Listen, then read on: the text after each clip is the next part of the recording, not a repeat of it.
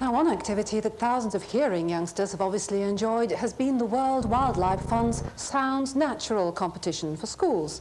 Now, this musical competition was open to all schools with prizes of musical instrument vouchers worth £6,000 for the winners. Well, the aim was simply to make school children more aware of their environment, its plants and its animals, with music to put the message across. And schools were invited to write their own musical offerings. Well, the competition was in three age groups. The two older groups, the 11 to 14 and 14 to 9-year-olds, would be judged by Avril Dankworth, John Hosier from the Guildhall School of Music, and Steve Race. But the judges of the youngest group, the 7 to 11-year-olds, will be you, the Pebble Mill viewers. We're now at the stage when we need your help. So please stand by with paper and pencil, because in a few moments we'll be introducing two of the finalists. Now, we've already shortlisted the final 10 schools in this section who all win £200 for their excellent efforts. They are the Park Lane Primary School from Wembley in Middlesex, who wrote Whatever Happened to the Brontosaurus, the Padanaram School from Forfar in Angus, Scotland, who sang about the butterfly, Milton Junior School from Newport Gwent in Wales, who wrote about the whale, Odstock County Primary near Salisbury in Wiltshire for their song The Leather-Backed Turtle. Coltishall Junior School of Norwich, Norfolk, who chose the unusual Kakapo and Moorlands Junior School Bath, who sang an appeal called simply Save the Animals. Well, many congratulations to them all, and I might add my congratulations too for all the work that uh, they put into actually presenting their music. All the music came in lovely files full of uh, pictures, and I know a lot of them um, involved school projects which uh, created lots of lovely pictures and poems for the school walls. But now, over the next two days, you at home will meet the four school groups who came top of the finalists for you to select the school that will receive the very special prize of a signed, limited edition print of David Shepherd's beautiful Evening of the Elephant, something the school can take a real pride in. So, which of the songs you hear today and tomorrow do you feel is the most imaginative and original? Let's listen now to school number one. Now, they are the St Mary's Bluecoat School from Bridgnorth in Shropshire, who've brought along an orchestra and a choir to sing Save the Otter, and the soloist is 10-year-old Bevan Middleton.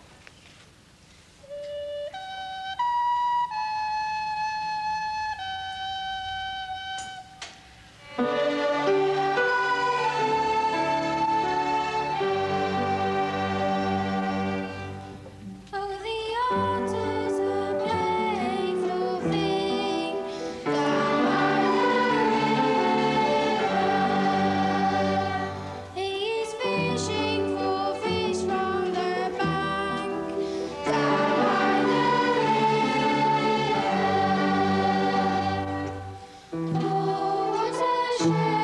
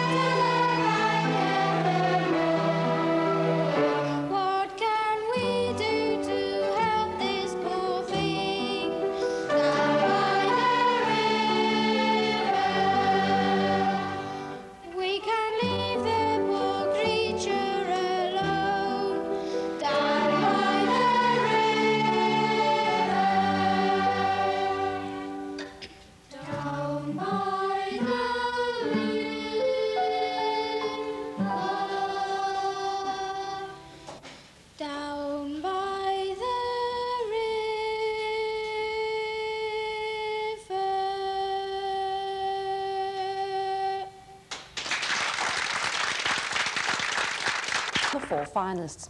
As today is your last chance to get your choice into the post, we thought we'd give you a quick reminder of what the children produced. And the first song was Save the Otter. The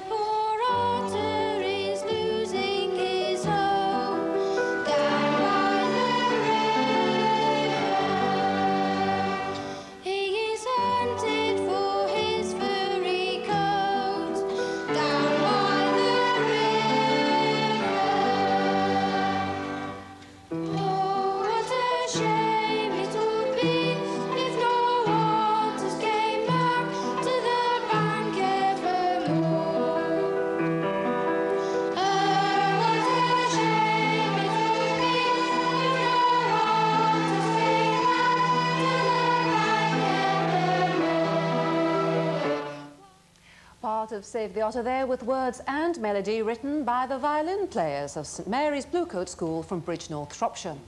The next came the story of the butterfly. A busy, busy ant comes passing by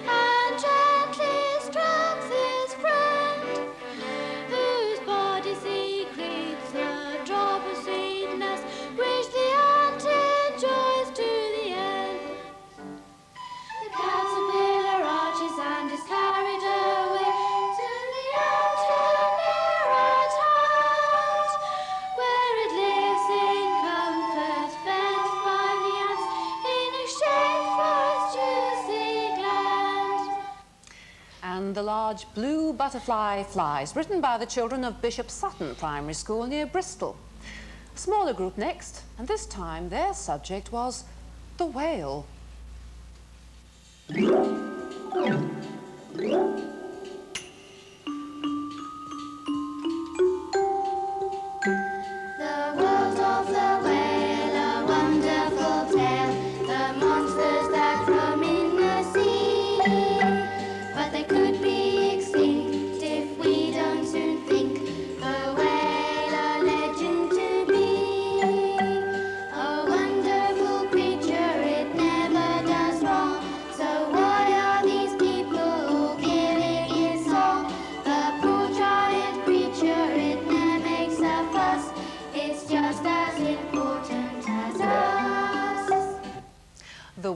With words and melody by children from Kelling County Primary School, Norfolk.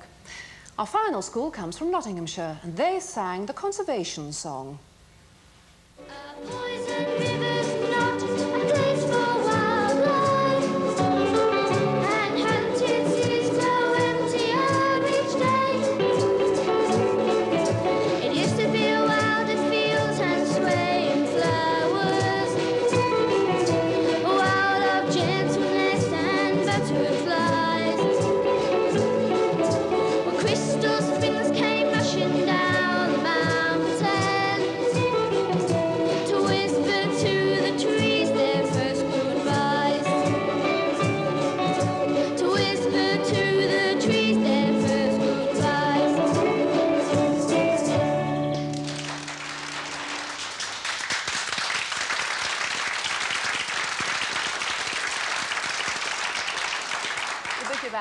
County Primary School there of Newark, Nottinghamshire, and their conservation song. Remarkable efforts by all the youngsters. Which one did you find the most original and imaginative song? Send your choice, please, by Monday on a postcard to this address. Sounds Natural, Pebble Mill at 1, BBC Birmingham B5 7QQ. That's Sounds Natural, Pebble Mill at 1, BBC, Birmingham, B57QQ. The winners and the winners of the two senior classes will be announced on the 20th